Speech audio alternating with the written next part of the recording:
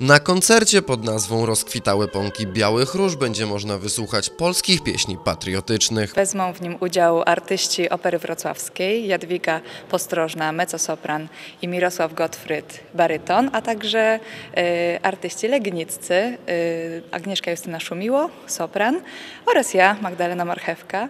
Będziemy wykonywać dla Państwa przy, w Towarzystwie Fortepianu y, utwory polskie. Koncert odbędzie się w auli pierwszego liceum ogólnokształcącego.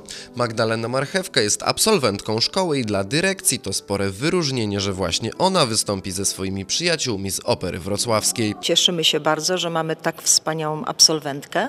Natomiast e, my jesteśmy znani z tego, że oprócz tego, co robimy dla szkoły, dla młodzieży szkolnej, przygotowujemy wiele imprez dla Legniczan. I odbywały się tutaj również koncerty chórów.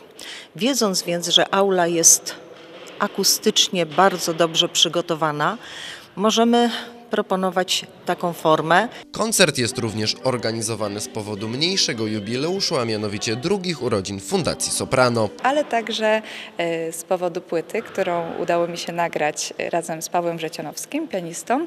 Płyty, na której znajduje się sześć pieśni e, patriotycznych.